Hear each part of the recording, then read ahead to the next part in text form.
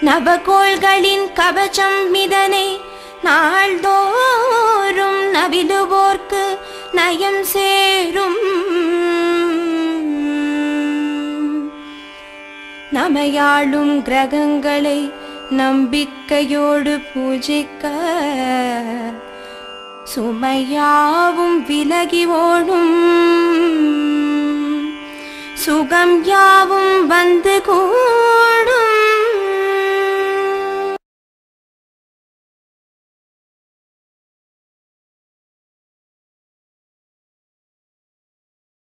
சூரிய திருத்தலம். உலகத் தோற்றத்தின் போது முதன் முதலில் தோன்றிய ஓம் என்ற ஓசையிலிருந்து சூரியன் தோன்றினான் என மார்க்கண்டேய புராணம் கூறுகிறது. சூரியன் நவகிரகங்களில் முதன்மையானவர். உலக படைப்புக்கு காரணமானவர். சகல போக வாக்கியங்களையும் அதிர்ஷ்டத்தையும் அள்ளி கொடுப்பவர். நவகிரகங்களின் முதன்மை கிரகமாம் சூரிய பகவான் வீற்றிருக்கும் திருத்தலம் அமைந்திருக்கும் ஊர் சூரியனார் கோவில். இவ்வூர் பேருந்து மார்க்கத்தில் கும்பகோணத்திலிருந்து பதினைந்து கிலோமீட்டர் தொலைவிலும் மயிலாடுதுறையிலிருந்து இருபத்தி ஐந்து கிலோமீட்டர் தொலைவிலும் அமைய பெற்றுள்ளது. தென்னகத்தில் உள்ள நவகிரகங்கள் அத்தனையும் குடிகொண்ட ஒரே கோவில் இது. சூரியனை மூலவராக கொண்ட முதல் ஒரே கோயிலும் இதுதான். இத்திருத்தலம் சுமார் எண்ணூறு ஆண்டுகளுக்கு முற்பட்ட கோவில் என்னும் சிறப்புடையது. பிறர்க்கு சாபம் சாப விமோசனம் அளிக்கும் நவகிரகங்களே சாப விமோச்சனம் பெற்ற தலம் என்பது இத்தலத்தின் தனிச்சிறப்பு சிவன் கோயில்களில் முன்னால் நந்தி இருப்பதைப் போல் இங்கு சூரியனார் சந்நிதி முன்பு அவருடைய வாகனமான குதிரை நிறுத்தப்பட்டுள்ளது. தல விருட்சம் வெள்ளருக்கு. சூரியனார் கோயில் செல்பவர்கள் சூரியனையும் பிற கிரகங்களையும் வழிபடக்கூடிய முறை ஒன்று உள்ளது. இம்முறையையே கடைபிடிக்க வேண்டும் என்பது நியதி. அதாவது ராஜகோபுரத்திற்கு எதிரே நின்று கைகளை மேல் குவித்து வணங்க வேண்டும். பின்பு உள்ளே சென்று முதலில் கோள் தீர்த்த விநாயகரை வழிபட வேண்டும். அதன் பின்பு சூரியனுடன் உஷா பிரத்யுஷா தேவி ஆகியோரையும் வழிபட வேண்டும். அதன் பின் திரும்பி நின்று குருவை வழிபடல் வேண்டும். பின்பு தென் சுற்றில் கீழே இறங்கி சனீஸ்வரர் புதன் அங்காரகன் சந்திரன் கேது சுக்கிரன் ராகு ஆகியோரை வழிபட்டு இறுதியாக சண்டீஸ்வரரை வழிபட வேண்டும்.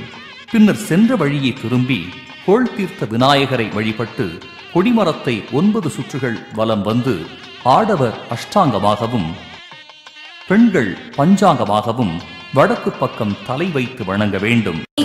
பேரருள் புரியும் கதிரவந்தின கரந்தினமெனை காக்க ஆயுள் ஆரோக்கியம் தந்தனை காக்க அருணோதயனெனை அன்புடன் காக்க. காக்க காக்க என் கண்களும் செவிகளும் தன் மலர் கருணை வள்ளலை காக்க. ஆரிய சூரிய பகவானே இப்பாரினில் புகழ்தனை நாளும் காக்க.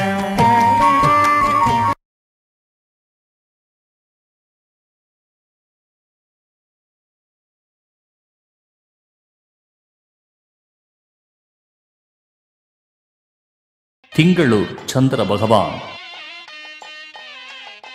நவக்கிரக மண்டலத்தில் இரண்டாவதாக சூரியனுக்கு தென்கிழக்கில் சுப கிரகமாக விளங்குகிறார் சந்திரன்.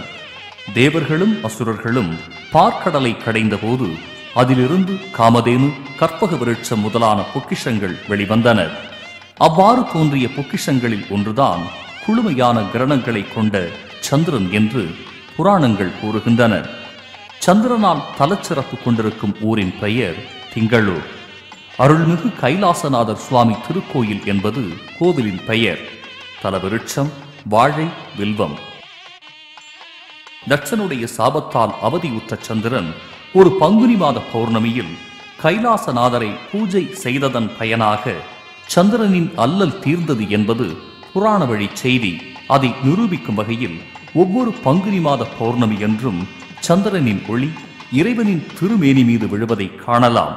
இத்திருத்தலம் அமைந்திருக்கும் திங்களூர் பேருந்து மார்க்கத்தில் கும்பகோணத்திலிருந்து திருவையாறு செல்லும் சாலையில் முப்பது கிலோமீட்டர் தொலைவிலும் திருவையாறிலிருந்து ஐந்து கிலோமீட்டர் தொலைவிலும் தஞ்சாவூரிலிருந்து பதினெட்டு கிலோமீட்டர் தொலைவிலும் அமைந்துள்ளது.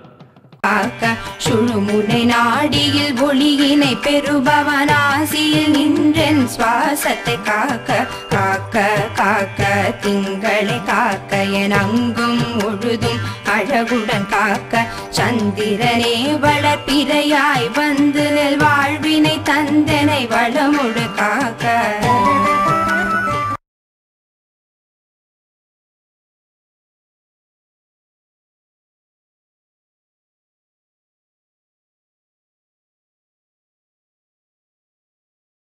வைத்தீஸ்வரன் கோவில் செவ்வாய் பகவான்.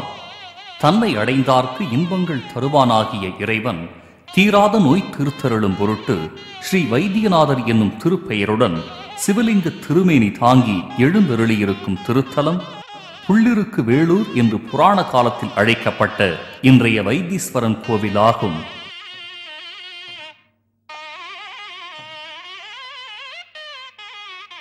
இத்திருத்தலம் கும்பகோணத்திலிருந்து ஐம்பத்து மூன்று கிலோமீட்டர் தொலைவிலும் மயிலாடுதுறையிலிருந்து பதினைந்து கிலோமீட்டர் தொலைவிலும் அமைய பெற்றுள்ளது.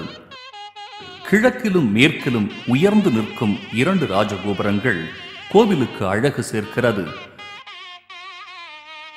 கிழக்கு ராஜகோபுரம் அருகே தல விருட்சமான வேம்பு காணப்படுகிறது. இந்த மரத்தின் இலைகள் கசப்புச் சுவை குறைந்து இருப்பதாலும் மருத்துவ குணம் கொண்டதாக இருப்பதாலும் பக்தர்கள் விரும்பி சாப்பிடும் விதமாக இருக்கிறது. தெற்கில் அம்மன் சன்னதியில் சித்தாமிர்த தீர்த்தம் இருக்கிறது. இத்தலத்தில் பதினெட்டு தீர்த்தங்கள் இருந்தாலும் எல்லா தீர்த்தங்களிலும் முதன்மையானது சித்தாமிர்த தீர்த்தமாகும். இத்தீர்த்தத்தில் நீராடி வழிபட்டால் சகல நோய்களும் நீங்கும் என்பது ஐதீகம்.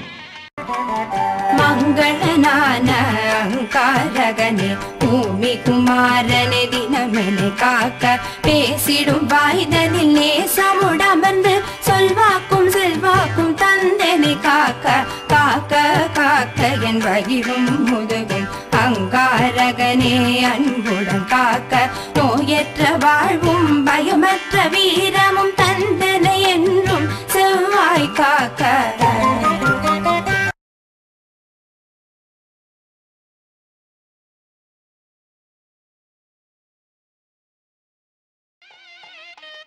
திருவெண்காடு புதன் பகவான். ஒன்பது கிரகங்களில் ஒருவரான புதன் கல்விக்கு அதிபதி. கல்விக்கு காரணமாக விளங்குவதால் இவரை வித்யாகாரகன் என்றும் கூறுவர். புதன் சுப கிரகங்களில் ஒன்று. புதன் பகவான் அருளாட்சி புரியும் திருவெண்காடு காசிக்கு சமமானதாக திகழும் திருத்தலங்களுள் ஒன்று. இவ்வூர் பேருந்து மார்க்கத்தில் மயிலாடுதுறையிலிருந்து பதினெட்டு கிலோமீட்டர் தொலைவிலும் கும்பகோணத்திலிருந்து ஐம்பது கிலோமீட்டர் தொலைவிலும் அமைய பெற்றுள்ளது. இத்தலத்தில் சிவன் வீரபத்ரர் நடராஜர் என மும்மூர்த்திகள். பிரம்ம வித்யாம்பிகை அஷ்டபுஜ துர்க்கை காளி என மூன்று அம்பிகையர். அக்னி தீர்த்தம் சூரிய தீர்த்தம் சந்திர தீர்த்தம் என மூன்று தீர்த்தங்கள். வில்வம் கொன்றை ஆல் என மூன்று தல விருட்சங்கள். எல்லாமே மூன்றாக கொண்டிருப்பது இத்தலத்தின் தனிச்சிறப்பாகும் புதன் பகவானால் புகழ் பெற்றிருக்கும் திருவெண்காட்டில் புதனுக்கென்று தனி சன்னதி உள்ளது. விசேஷமான அமைப்புடைய புதன் சன்னதிக்கு வந்து வழிபாடு செய்தால் புதனால் பெறத்தக்க அனைத்து பேறுகளையும் பெறலாம். இத்தலம் புதனுக்குரிய தலமாதலால் புதனை வலம் வந்து வழிபட்ட பின்னரே இங்கு தரிசனம் பூர்த்தியாகும். புதன் பகவானுக்கு புதன்கிழமைகளில் அபிஷேகம் செய்து அர்ச்சனை செய்தால் புதன் கிரக தோஷம் நீங்க பகவான். சுபகிரகமான புத பகவானே அனுகிரகம் தந்து அனுதினம் காக்க கல்வியும் அறிவும் ஞானமும் கவிதை புனையும் திறனையும் தந்தனை காக்க காக்க காக்க என் சிரசையும் நேற்று. புனித நம்புதனே பறிவுடன் காக்க புகழோடு பதவியும் தந்தனை காக்க பூரணம் நல்கி என்றும் காக்க.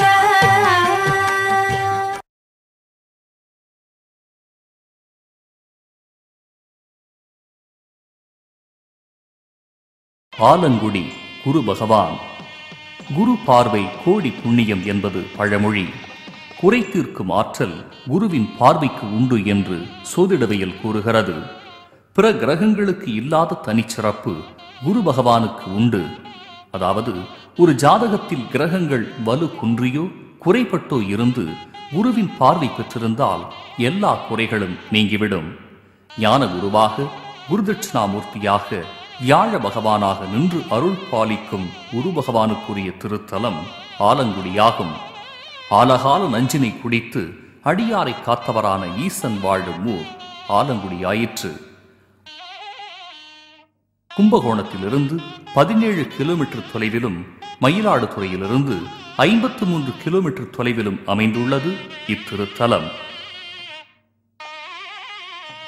கோவில் ஊரின் மத்தியில் நான்கு புறமும் தாமரை பூத்தகழியாலும் உயரமான மதில்களாலும் சூழப்பெற்று மிகவும் அழகான தோற்றத்துடன் கூடிய ஐந்து நிலை ராஜகோபுரத்துடன் காட்சியளிக்கும்.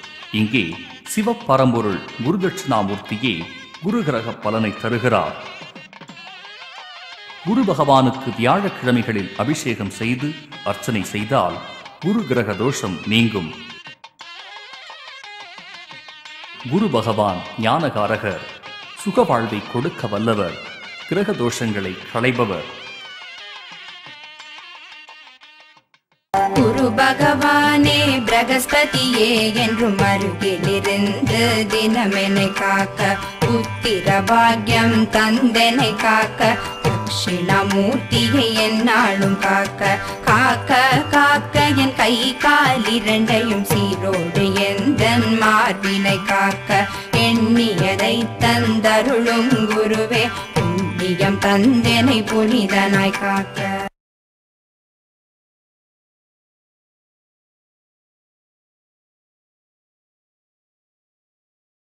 கஞ்சனூர் சுக்கர பகவான் அசுரர்களுக்கு குரு ஆனதால் சுக்கராச்சாரியார் என்று அழைக்கப்படும் ஸ்ரீ சுக்கர பகவான் கிரக மண்டலத்தில் ஆறாவது கிரகமாவார். நவகிரக தலங்களில் சுக்கர பகவானுடைய திருத்தலம் கஞ்சனூர் ஆகும் இது கும்பகோணத்திற்கு கிழக்கே பதினெட்டு கிலோமீட்டர் தொலைவிலும் மயிலாடுதுறைக்கு மேற்கே இருபது கிலோமீட்டர் தொலைவிலும் உள்ளது.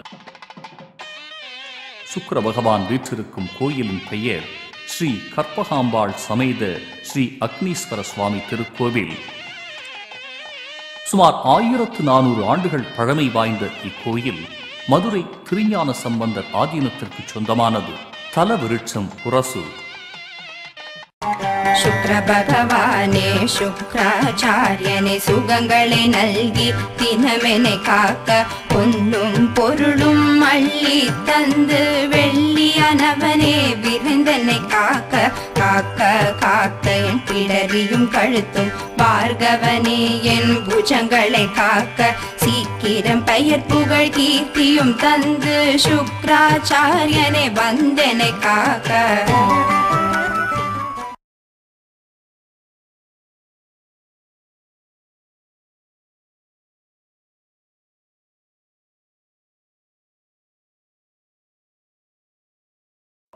திருநள்ளார் சனீஸ்வர பகவான்.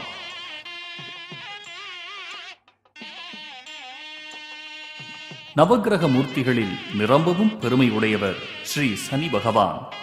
ஈஸ்வரனுக்கு சமமாக அவருக்கு மட்டுமே ஈஸ்வர பட்டம் இருக்கிறது. அதனாலேயே சனீஸ்வரன் என்று போற்றப்படுகிறார். தேவர்கள் என்றாலும் மன்னாதி மன்னர்கள் என்றாலும் சனி பகவானை வழிபடாதவர்களே இல்லை எனலாம்.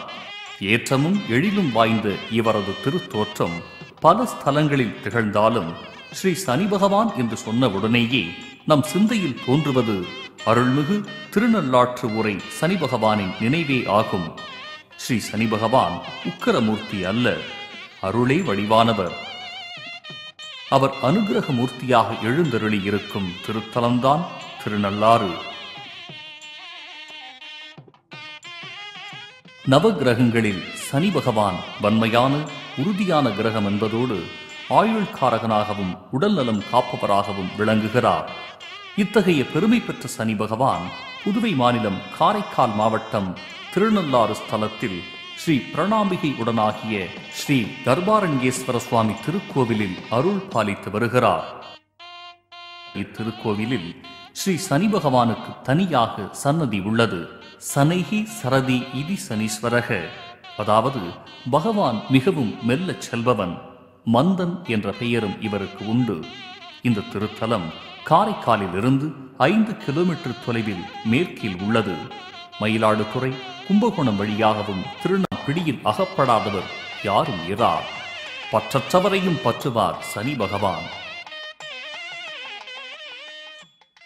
சனி பகவானே இனியவனே தூயவனே வந்து தினமெனை காக்க பிணிகளை தீர்த்து பேரருள் தந்து சனீஸ்வரனே என்னை பேணியே காக்க. காக்க காக்க என் தேகம் காக்க. காக்க வகனனே கனிவுடன் காக்க. செல்வமும் சிறப்பும் தந்தனை காக்க. சனீஸ்வரனே என்னை பெருமையை காக்க.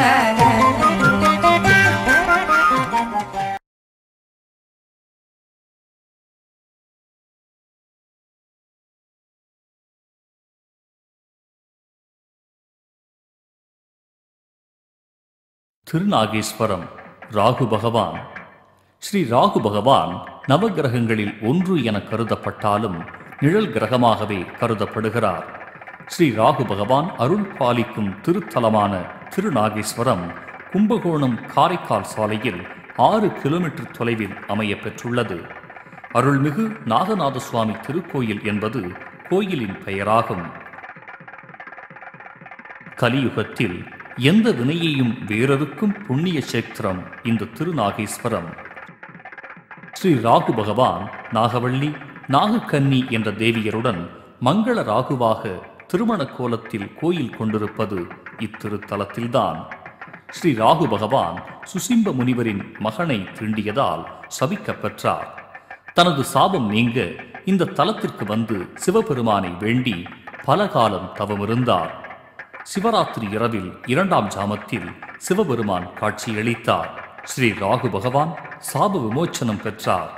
தன்னை வழிபடும் அடியார்களின் நாகதோஷங்களை நீக்கி அருள் பாலிக்கும்படி இறைவன் கூறியதற்கு இணங்க இந்த தலத்திலே தென் மூலையில் தேவியருடன் கோயில் கொண்டு சிவபெருமானுக்கு பணிவிடை செய்து பக்தர்களின் தோஷத்தை போக்கி அருள்கிறார் ஸ்ரீ ராகு பகவான். பால் அபிஷேகம் அர்ச்சனை வெள்ளி நாகர் காணிக்கை ஆகியவற்றால் ஸ்ரீ ராகு பகவானை மகிழ்விக்கின்றனர். ஸ்ரீ ராகு பகவான் பகைவர் பயம் போக்குபவர் ராஜ யோகம் தருபவர்.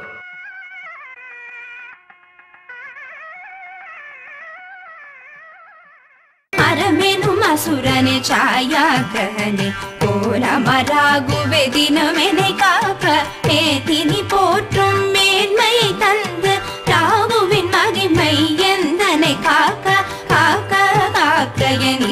இருதொடை காக்க ரக்ஷி தென்னை ராகுவே காக்க உன்னதமான உயர்வுகள் தந்து உத்தமா என்னும் வந்தனை காக்க.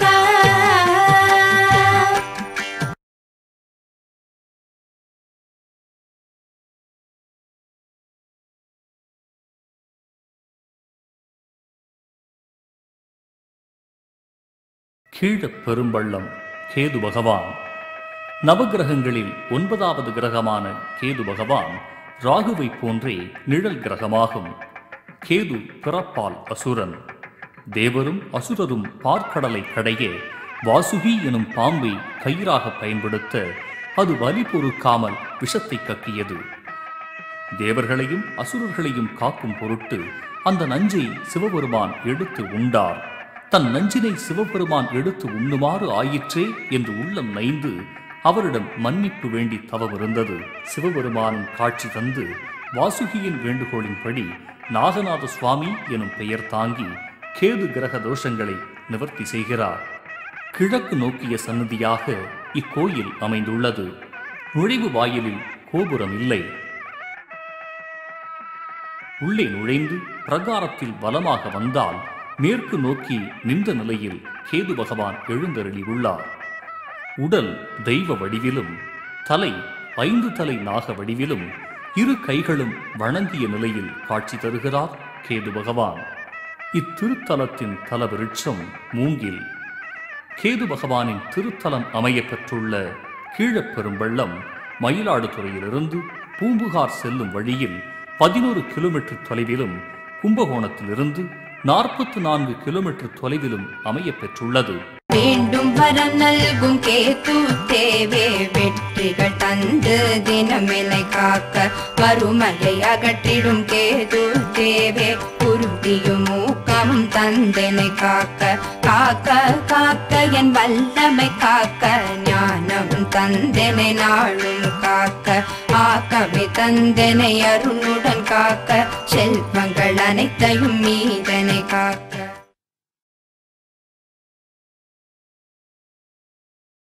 நவக்கிரகங்களில் சூரியனை வழிபட்டால் உடல் நலம் பெருகும் சந்திரனை வழிபட்டால் புகழ் சேரும். செவ்வாயை வழிபட்டால் செல்வம் சேரும். புதனை வழிபட்டால் ஞானம் கிட்டும். குருவை வழிபட்டால் சிறப்பு கிட்டும். வெள்ளியை வழிபட்டால் வாக்கு வன்மை அடையலாம். சனியை வழிபட்டால் மகிழ்ச்சி ஏற்படும் பீடை ஒழியும். ராகுவை வழிபட்டால் வலிமை பெருகி எதிரிகள் அழிவர். கேதுவை வழிபட்டால் புலமை குலப்பெருமை ஏற்படும்.